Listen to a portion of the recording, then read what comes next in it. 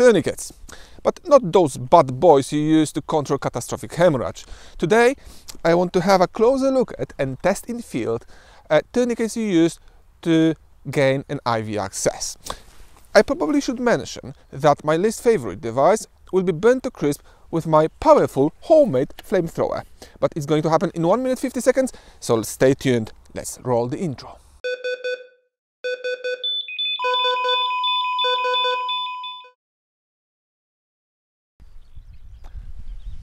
Back in the day, I was a big fan of reusable tourniquets. Why? Because they are easy to put on and they give you this nice option of adjusting a pressure applied and they just look cool don't they that was up to the moment when i saw a research published by dr nadia osorio she combined 20 different researchers from all across the world with combined sample of 1,500 tourniquets. And now she found out that the majority of tourniquets used in peripheral venipuncture contains microbes which could put patient safety at risk. Contamination rates varied from 10 to 100% with coagulase negative staphylococci being the most commonly found microorganism. This research was published in 2018, so pre-COVID era. And now it is 2021 COVID is everywhere and we are still using reusable tourniquets. Please, let's stop it. Let's use single-use tourniquets. And to prove that I really mean it, I'm going to burn my favorite reusable tourniquet with my powerful homemade flamethrower.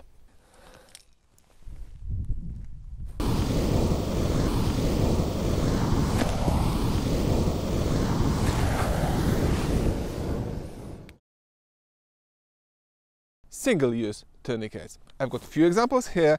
Before we start, no money changed hands between me and manufacturers of these tourniquets. So let's start with this one. Uh, you have to tear it from the roll like this. You put it on patient's hand.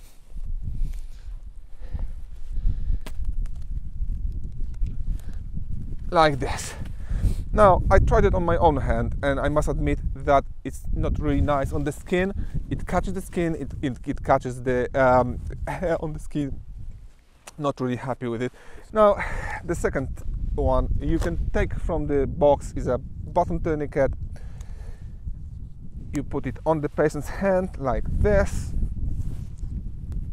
Pull here. And the tourniquet is on. Now, to release it simply pull and that's where I have got problem with this when I have problem with this tourniquet because this button is sometimes quite loose and it actually can uh, just fly away. That's how we call them um, one day I'll fly away tourniquet. So uh, it's not that bad but be very very very very careful with this button. Now next one you pull it from the from the box initially I was really skeptical about this but I, I must admit that now when I know how to use it put it here I'm quite happy with it again uh, it, it's not really nice on the skin but it does the trick and what's important if you are dealing with bariatric patients you can use two tourniquets and just combine them. So you have two tourniquets, you feed the this bit through the letterbox.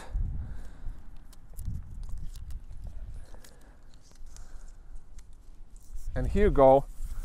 You've got a tourniquet for a bariatric patient. I really really like this idea. The last one I want to show you is stretch tourniquet you put it here feed it through and job done. And you know what? From all those tourniquets this one feels the best on the skin. But you know what I really like about this idea? So the tourniquet or the, the whole box comes with the small pouches. So what you can do is after you apply the tourniquet in field, you then put the tourniquet here to the pouch. And you put your patient's name here and uh, number of uses so for example you, have, you can reuse this tourniquet with the same patient a few times. So it's really good because you are not adding to whole bag of rubbish you have with the patient. So like a clinical waste you just can reuse this tourniquet a few times up to six times i think for the same patient. And that's the idea of single use reusable tourniquet i really like. So that's five stars from me.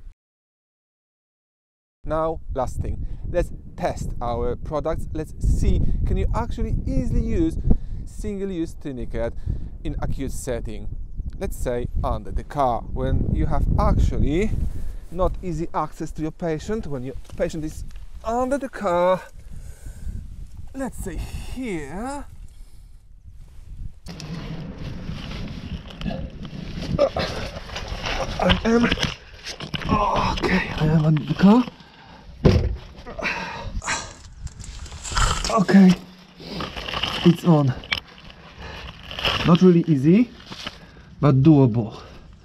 Okay the second one. Let's pay attention to the button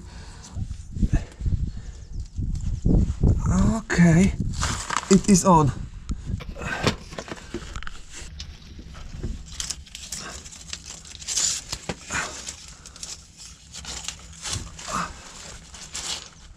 Not ideal to be honest but yeah. Okay the last one my favorite one.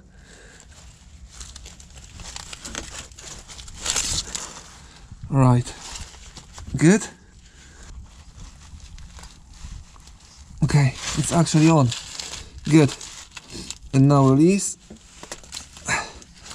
And take off. Okay doable